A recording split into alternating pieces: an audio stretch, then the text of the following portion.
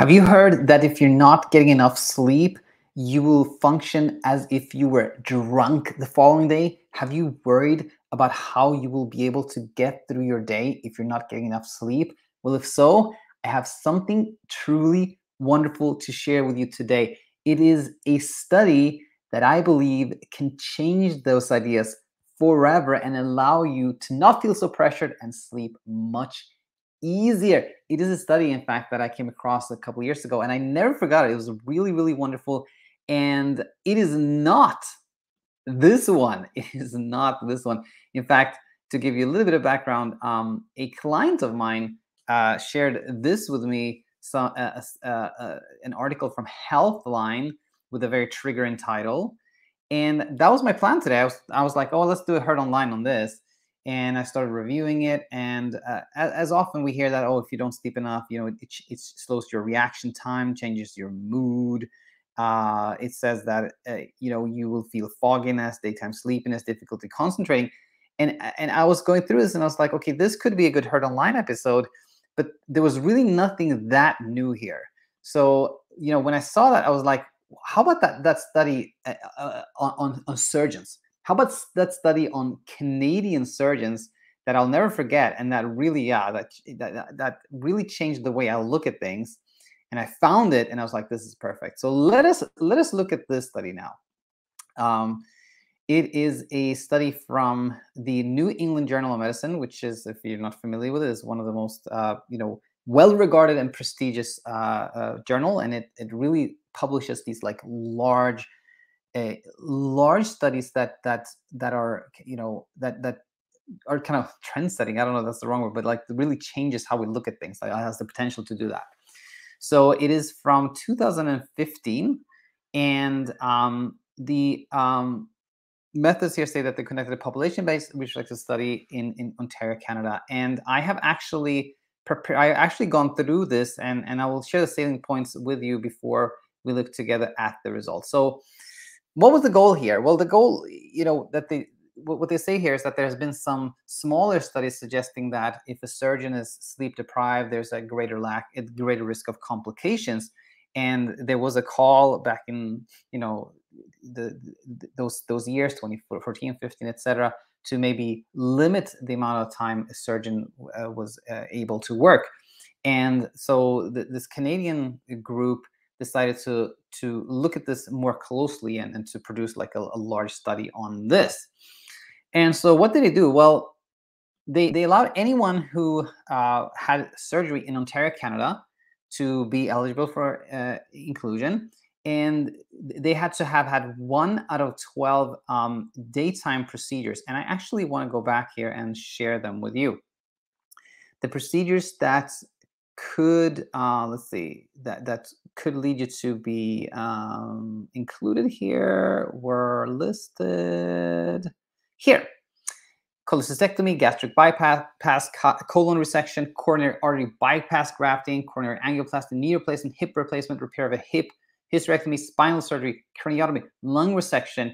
My point here the reason i wanted to go over this was that these are not like a nail removal. You know, these are complex procedures that you know require this requires a surgeon to be focused and pay attention and function at a very high level or there probably will be complications right? So anyone who had one of these 12 complex procedures during a five year span were, were eligible for inclusion in this study. And what they really compared was this. And this is what makes this study so neat.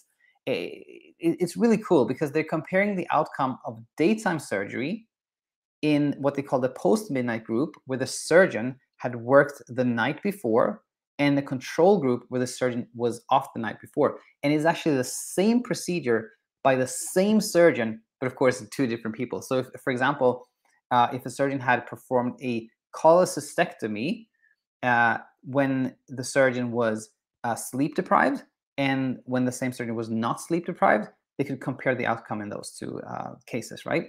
And uh, so that was the idea. And the outcome they looked at, there, there were many kind of subdomains, but the big outcomes they looked was like death, readmission to the hospital, or complications. And so the question really is this Will there be more problems after surgery by the same surgeon in a sleep deprived and non sleep deprived state? That is the question, right? So what did they find? So here are the results. So they included a total of 38,978 patients. And now this is so different from most of the, the studies where you, you hear that, oh, if you don't sleep enough, you will behave as if you're drunk. That those are typically like, oh, we took 10 people and half of them, you know, were sleep deprived, the other half was non-sleep deprived, and we had them do the psychomotor vigilance test on a computer where they click at buttons and see how fast they react. And, and, and, and those are the typical type of studies, but this is robust. This is huge. This is big. 19,000 in each group, you know, post midnight and control group. There were 1,000, almost 1,500 physicians included. Uh, they had a mean of 1.25 procedures per night. So that means that for most of the nights when the physician was on call, they did have a surgical procedures. And as you can see, like say, see like if you did like a one of these complex surgeries at night, whether it was uh, at midnight or 4 a.m. or you know 3 a.m. or 6 a.m., you you you probably you, you probably didn't sleep that much. You know, you're probably quite sleep deprived. All right. So with that said, let us go back into the study and look at the results. So what, what, was there a difference between the groups? So we'll we'll jump into the results here. And we will find the following. Overall, we, we saw how many patients were included. We talked about this already. The median number of patients pairs per physician was six, by the way. So there were, um, you know, typically there were six pairs. So uh, 12 procedures where they com- com- compared, let's say, six, you know, cholecystectomies uh, versus six cholecystectomies. So, so you know, pretty good numbers. Um, and here are the outcomes. The primary outcome, whether included death, readmission, or complications, occurred in 22.2% of patients in the post-midnight group where the surgeon was sleep deprived, and 22.4% of those in the control group when the, the surgeon was not sleep deprived. In other words, no significant difference. There was no difference in that. Well, when they look at the details, so how about deaths? No difference. Readmissions? No difference. Complications? No difference. In other words, there was no difference if the, the surgeon had slept little and was sleep deprived or had slept when it comes to these like complex functioning, complex tasks like performing surgery. I don't know about you, but that was quite eye-opening to me. So, uh, you know, what what are my conclusions here? I think I think again that it's possible that if you take a bunch of people and you sleep deprive some of them, like artificially sleep deprive some people, half of them, let's say, and then you do this like psychomotor vigilance testing, where you're like, okay, uh, as soon as you see a dot on the screen, you, you react like that. The, it's, it's very possible that the, the group that uh, were made sleep deprived, they may react a little slower, but this is not something that is critical or important. So it's kind of not surprising that reacts a little slower. But when it comes to critical functioning, we can find those reserves and we can really function at a quite a high level as this shows. And this also supports a lot of like the anecdotal evidence that we have right here on the channel where Kristen, for example, uh, didn't sleep for three days and she still, still did super well in her like uh, medical school exams. And we hear those stories, or, or Brittany, by the way, who, who slept very, very little and did an Ironman triathlon. And we have so many of those stories here that that that align with the findings of the study.